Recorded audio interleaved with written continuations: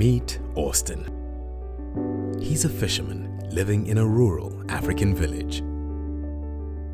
Austin has been coughing for a few weeks now. He has been tired and has lost weight. Austin is considering going to the local health center, but a few things are preventing him from going. His grandfather would say to him, men are strong and provide for their families. Only women and children use the health centers. Austin has a disability that prevents him from walking to the health center, and the bus only comes once a week. Austin decides to wait and see if he gets better.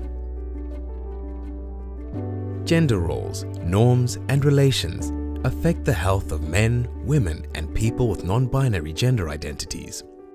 As in Austin's case, it influences his vulnerability to and experience of disease and his health-seeking behaviors. Sex and gender also interact with other drivers of inequality that operate within systems and structures of power. Such drivers include geographic location, age, and disability. The resulting dynamics influence people's needs, access to, and delivery of health interventions, services, and programs. Adopting a gender lens in implementation research helps to understand if, how, and why health implementation strategies work, and how gender relations influence the response at community level.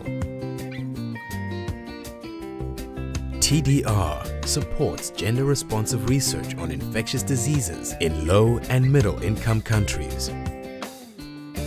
TDR has developed its own intersectional gender research strategy. This strategy aims to generate evidence on gender-intersecting inequalities in access to health services, strengthen the capacity of researchers in low and middle-income countries to incorporate intersectional gender analysis, and promote a gender-inclusive infectious disease research agenda.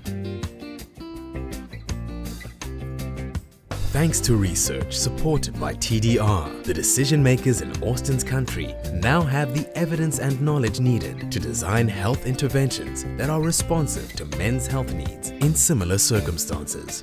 A new tuberculosis screening program was started to raise awareness and help decrease men's healthcare seeking delay. Evidence from gender-responsive research enhances equality in access to healthcare. It supports efforts to combat infectious diseases of poverty, and it contributes to the achievement of universal health coverage for people in all their diversity.